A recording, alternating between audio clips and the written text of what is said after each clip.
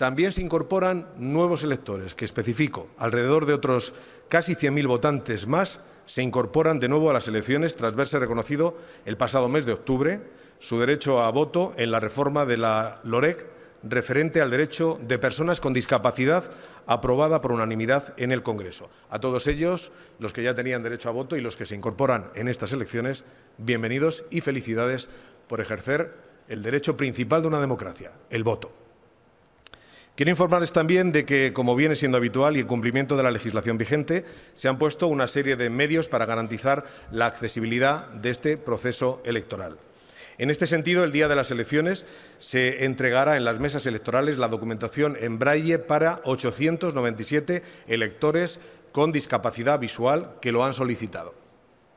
Asimismo, los integrantes de mesas electorales con discapacidad auditiva que lo hayan solicitado van a disponer de un servicio de interpretación de lengua de signos a través del correspondiente intérprete como apoyo complementario durante la jornada electoral, así como lo que se conoce como bucle magnético para permitir su concentración, la lectura y la escucha de los datos. Se han solicitado 14 intérpretes y, en concreto, dos de estos bucles magnéticos, un coste que es asumido por el Ministerio del Interior.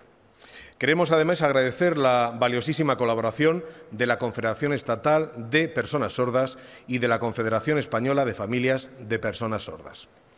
Como les hemos mencionado, la reciente modificación de la Ley de Régimen Electoral General, mediante Ley Orgánica de 2-2018, ha permitido garantizar el derecho de sufragio de las personas con discapacidad, un hecho novedoso e importante. Hasta este proceso electoral, las personas declaradas judicialmente incapaces, también los internados con autorización judicial en un hospital psiquiátrico, carecían de derecho de sufragio siempre que así lo hubiera dispuesto la autoridad judicial competente. Esta privación del derecho de sufragio había sido cuestionada por el Comité sobre las Personas con Discapacidad de la ONU, que recomendó a España eliminar esta prohibición, lo que se ha llevado a cabo mediante la mencionada mm, modificación de la LOREG. Con este motivo, la web informativa del Ministerio del Interior sobre estas elecciones, que ya ofrecía contenidos específicos accesibles para personas con discapacidad visual,